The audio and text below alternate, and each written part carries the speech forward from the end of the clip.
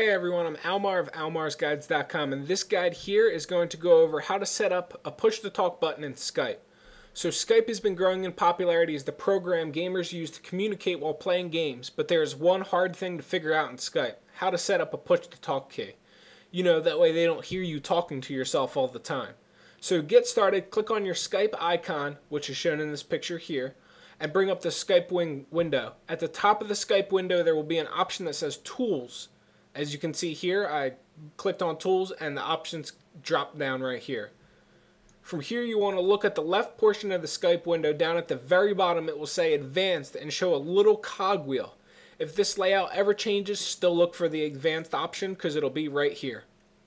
As you can see, here's the general window, and at the very bottom it says Advanced.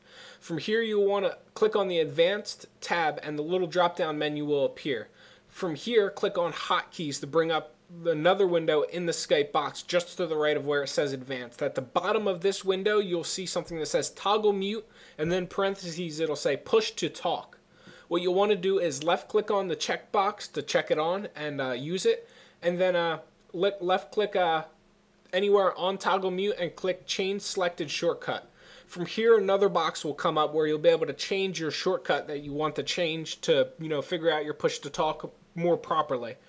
After you do that, you'll be able to exit out of that after you you know save it and all that fun stuff. It'll actually just auto save exit out and then go to go back to maybe the phone call with your buddy or uh, anytime you enter a phone call from here on out what you'll have to do is uh, click on the toggle mute at the bottom of your Skype window. I have a picture of it here in the video and on my website. Click on toggle mute and then it'll say microphone muted. And once the microphone is muted when you hit the push to talk key, instead of it toggling mute, it'll toggle unmute because it's still technically toggling mute. And that's how push to talk works in Skype.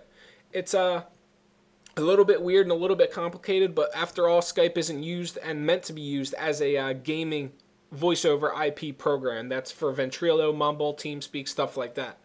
Uh, people that want to use Skype, this is the easiest way to get push to talk to work while in Skype. So aside from that, I hope this video helped some of you guys out. And uh, if you guys enjoyed this video, of course, as always, like, comment, and subscribe to me for future videos. See you guys around.